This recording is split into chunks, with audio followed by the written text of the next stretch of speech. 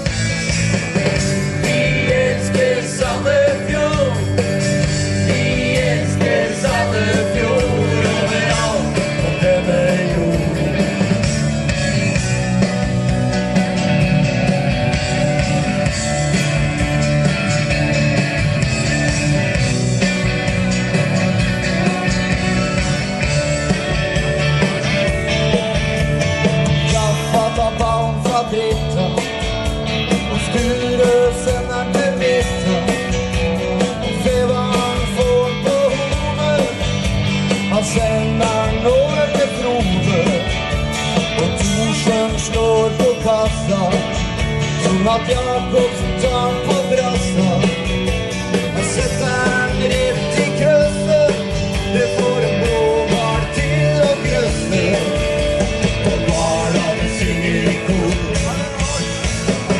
Vi elsker Sandefjord. Vi elsker Sandefjord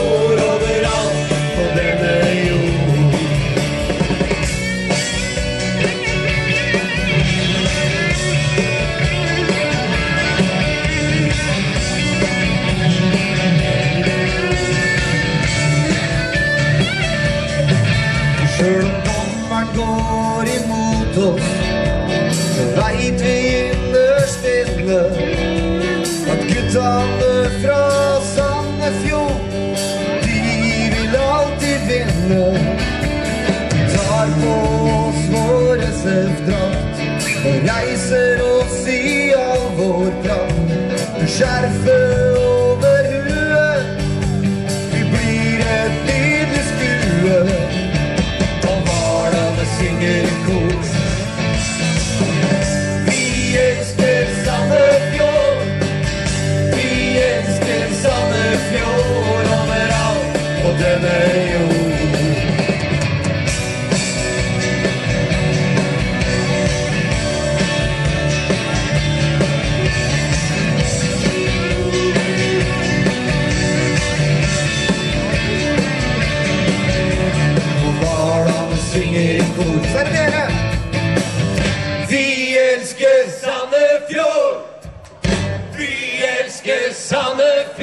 Overalt på denne jord.